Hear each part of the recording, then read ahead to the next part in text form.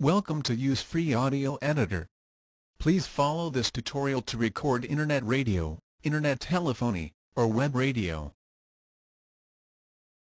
Click New Record. Choose Recording Sample Rate and Channels, and click OK. If the audio you're streaming from Internet radio, Internet telephony or web radio is detected, you should see the signal on the LEDs. Then, adjust the recording volume as needed. Choose the recording device, and make sure to select Stereo Mix in line and menu.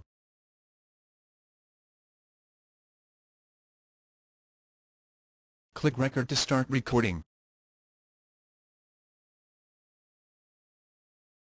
You can see the recording time on the top.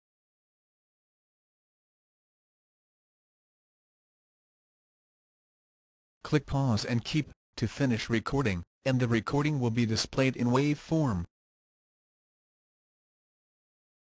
Click Save, save file as. In the activated window, you can specify the output format, file name and output location.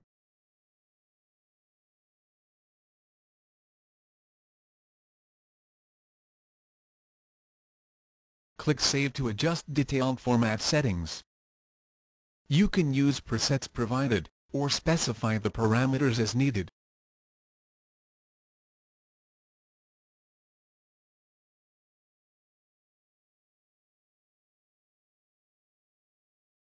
Click OK, and within seconds, you can find your recording in the output folder.